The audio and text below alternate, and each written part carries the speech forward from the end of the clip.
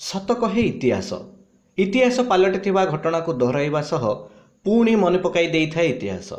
ସେହିଭଳି ଏକ ଘଟଣା ମୟୂରଭଞ୍ଜ ଜିଲ୍ଲା ରାସଗୋବିନ୍ଦପୁର ବ୍ଲକରେ ଥିବା ଅମରଦା ଏୟାର ଷ୍ଟପ୍ରେ ଉଣେଇଶହ ଛୟାଳିଶ ମସିହାରେ ଘଟିଥିଲା। ସେତେବେଳେ ଏକ ଭୟଙ୍କର ବିମାନ ଦୁର୍ଘଟଣାରେ ଚଉଦ ଜଣ ଶହୀଦ ଏୟାରମ୍ୟାନଙ୍କୁ ମନେ ପକାଇ ପ୍ରତିବର୍ଷ ଭଳି ମନେ ପକାଇ ଆଜି ଶ୍ରଦ୍ଧାଞ୍ଜଳି ଜ୍ଞାପନ କଲେ ଅଞ୍ଚଳବାସୀ।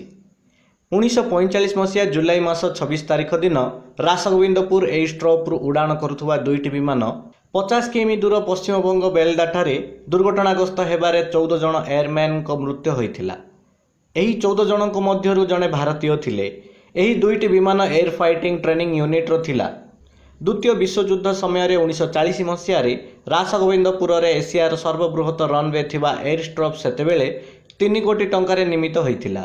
ତେବେ ସେହି ଚଉଦ ଜଣଙ୍କୁ ଶ୍ରଦ୍ଧାଞ୍ଜଳି ଅର୍ପଣ କରି ସ୍ମାରକୀ ସ୍ୱରୂପ ଓଡ଼ିଶାର ଇତିହାସରେ ଜଡ଼ିତ ଥିବା ଏହି କଥାବସ୍ତୁକୁ ଲୋକ ସମ୍ମୁଖରେ ଆଣିବା ପାଇଁ ଆଜିର ଏୟାରମ୍ୟାନଙ୍କୁ ଶ୍ରଦ୍ଧାଞ୍ଜଳି ଜ୍ଞାପନ ଅବସରରେ ଶାନ୍ତି ସଂଗ୍ରହାଳୟର ପୁନର୍ଜୀବିତ କରିବା ପାଇଁ ମ୍ୟୁଜିୟମରେ ସେହି ସମୟର ବିଭିନ୍ନ ଜିନିଷ ଏଠାରେ ସ୍ଥାନ ଦିଆଯିବ। ଗବେଷକ ଅନିଲ ଧୀର ନିଜସ୍ୱ ଉଦ୍ୟମରେ ଏଠାରେ ସଂଗ୍ରହାଳୟର ପ୍ରତିଷ୍ଠା କାମ ହାତକୁ ନେଇଛନ୍ତି। ମୟୂରଭଞ୍ଜରୁ ଘାସିରାମ ବେହେରାଙ୍କ ରିପୋର୍ଟ। ଉତ୍କଳ ଖବର।